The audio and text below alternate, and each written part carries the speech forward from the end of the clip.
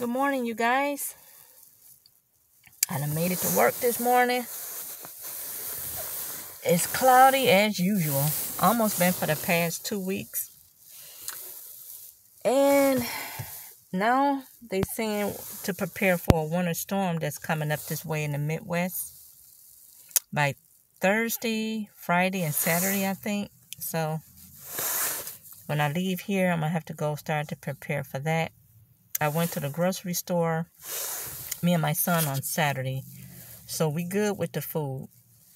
Um I just need to tap a little loose ends, you guys, and pick up a few more gifts and things.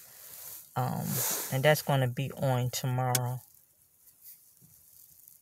Um, they don't know how many snow totals or, but they're saying a lot of wind, almost probably like blizzard conditions. But I keep you guys tuned. Hopefully, we'll have a short work week. Um, so I'm gonna cross my fingers on that, you guys.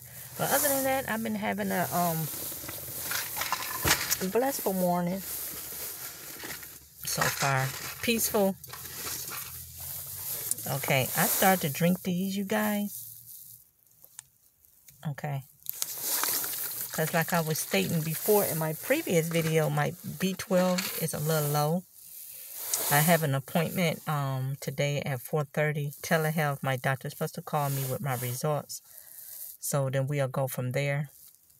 As I've been feeling a little funny and things like that and hopefully that can get rectified real fast so I can get back to the old me. Energetic and outgoing and everything. So we'll see you guys. We'll see. So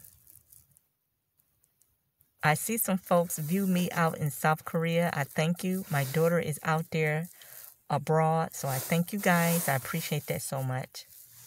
So let me get in here and start my day, and I will be checking with you guys this afternoon. Bye bye now.